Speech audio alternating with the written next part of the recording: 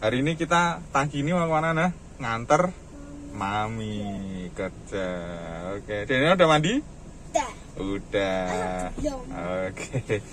Oke ya, eh, kita tunggu kelanjutannya perjalanan kita.